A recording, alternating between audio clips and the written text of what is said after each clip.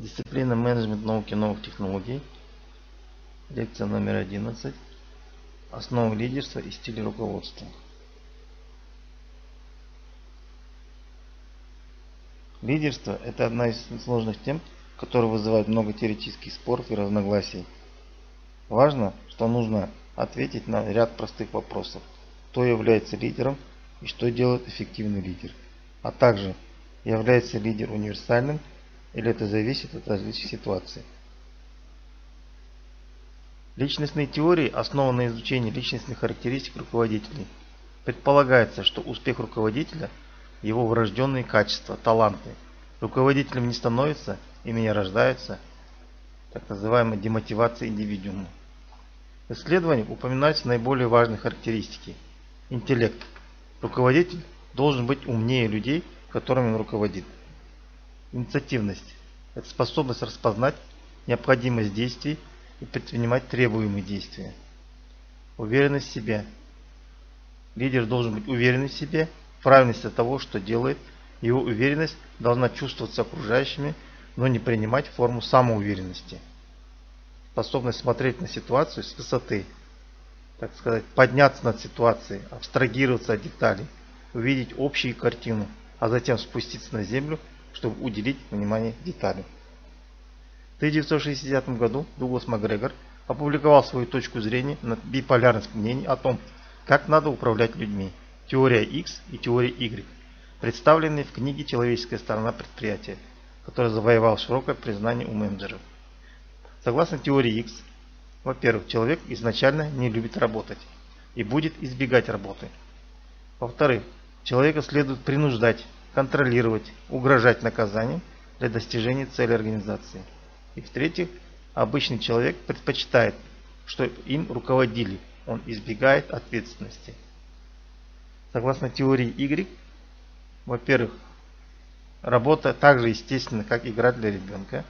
Во-вторых, человек может осуществлять самоуправление и самоконтроль. Награда – результат, связанный с достижением цели. И в-третьих, обычный человек стремится к ответственности. Согласно Тиду, успешный руководитель общителен, смел, решителен. Ему присуща цельность, воображение – честность, энтузиазм, большой запас жизненных сил. Ада же говорит об успешном руководителе, его отличие в том, что руководитель умеет работать с самыми разными людьми, рано проявившие умение брать на себя ответственность, опыт руководства, появившийся в начале карьеры, большой опыт работы при выполнении деловых функций, приобретенных еще до достижения середины карьеры. В теориях стиля руководства Внимание акцентируется на стиле поведения руководителя в отношениях с подчиненными и утверждается, что определенный стиль поведения способствует решению одной из главных задач менеджера – заставить подчиненных усердно трудиться и добиваться требуемой производительности. Забота о выполнении задачи и забота о людях. Уайт и Лилит в развитии идей Макгрегора и его теории XY выделили три стиля.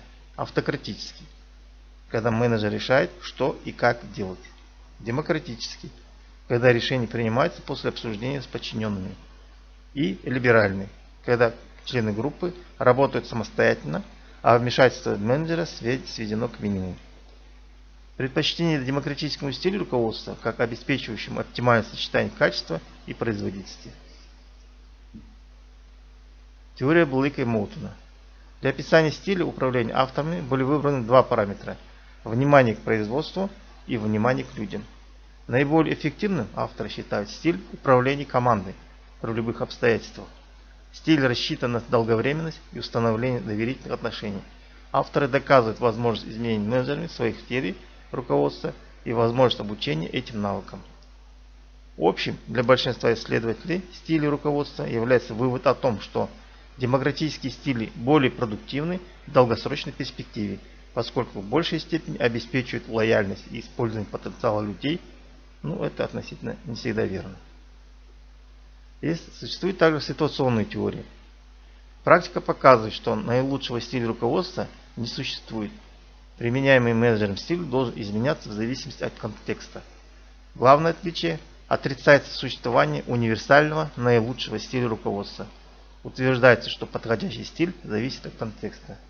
Ну, здесь приведена диаграмма Танненбаума-Шмидта, автократический стиль, усиление демократического стиля, соответственно, с увеличением усиления автократического стиля использования власти, э, с увеличением в сторону демократического стиля увеличивается степень свободы подчиненных.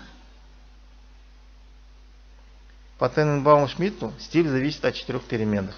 Во-первых, первый, первый это руководитель, его личные качества и предпочитаемый стиль.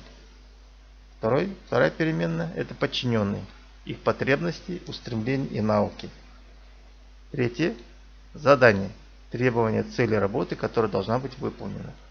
И четвертое – это контекст, организация, ее ценности и традиции. Задача состоит в том, чтобы добиться пересечения всех четырех переменных. В случае отсутствия согласования необходимо изменить одну или несколько переменных, находящихся в области контроля менеджера. Хокинс рассматривал лидерство как процесс. Лидерство может быть оценено как специфический вид процесса. Лидерство заключается во влиянии на людей приемлемыми для них способами в отношении ключевых проблем – которым сталкивается группа или организация. Лидеры – это те люди, от которых ожидается, что они должны влиять, или они воспринимаются как влияющие на важные вопросы и проблемы.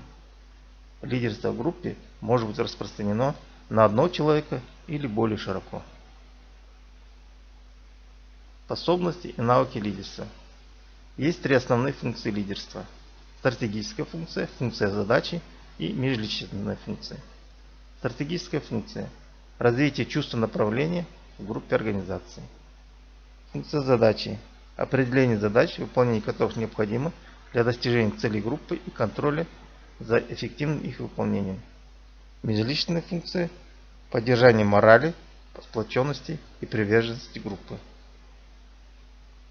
Способности и навыки лидера включают, во-первых, уметь организовывать сети связи. Во-вторых, Уметь предоставлять интересы других людей, быть послом этих людей. В-третьих, умение общаться. Четвертое, умение быть ролевой моделью для подчиненных. Ну и пятое, умение поддерживать мораль, сплоченность и приверженность.